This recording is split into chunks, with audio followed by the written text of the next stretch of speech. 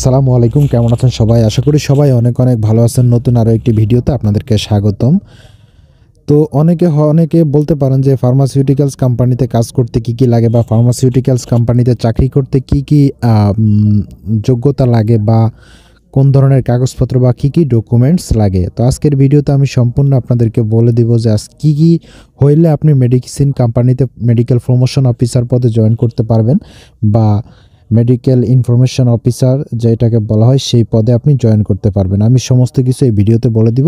ভিডিওটি সম্পূর্ণ দেখতে থাকুন।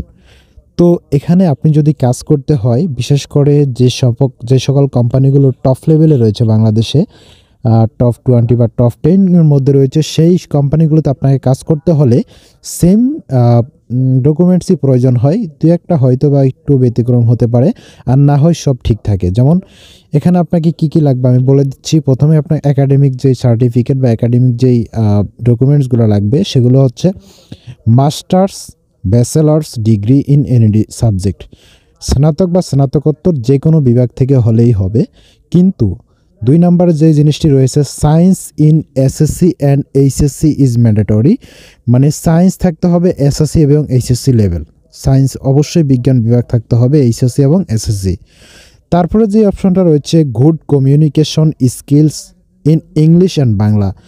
আপনাকে বাংলা এবং ইংলিশে যোগাযোগ বা কথা বলার দক্ষতা থাকতে হবে খুবই ভালো, কারণ আপনাকে এই মেডিসিন সম্পর্কে বা মেডিকেল রিলেটেড কথাবার্তা বলতে হবে।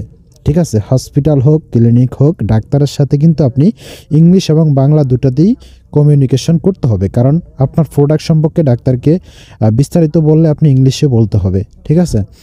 তারপরে যে জিনিসটা রয়েছে সেটা হচ্ছে যে age not more than thirty one years মানে বয়স যাতে একত্রিশ বছরের উপরে না হয়, সেটা খেয়াল রাখতে হবে। বিভিন্ন কোম্পানি তিরিশ বছরের মধ্যে নেয়, বিভিন্ন কোম্পানি আবার একত্রিশ বছর পর্যন্ত নিয়ে থাকে।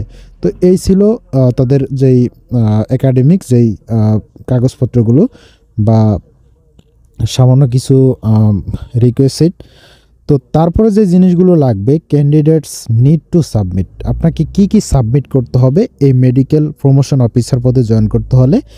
তো এখানে আপনাকে এ ডিটেইলড রিজাম মানে একটি সম্পূর্ণ বা কমপ্লিট জীবন বৃত্তান্ত, যেটাকে আমরা বলি সিবি সেটা লাগবে। তারপরে হচ্ছে two recent passport sized colour photographs মানে দুই কপি সদ্য তোলা কালার ফটোগ্রাফ ছবি আপনাকে নিতে হবে।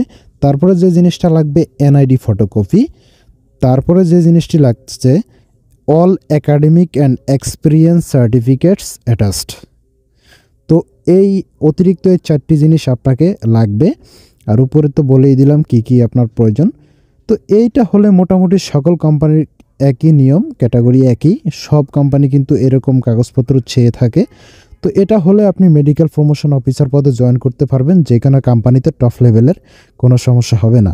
তো এই ছিল আজকের ভিডিওর ভিডিও যদি ভালো লাগে, অবশ্যই একটি লাইক করবেন। আর আমাদের চ্যানেলটি সাবস্ক্রাইব করে রাখবেন পরবর্তী কোনো নতুন ভিডিওর জন্য। ধন্যবাদ সবাইকে।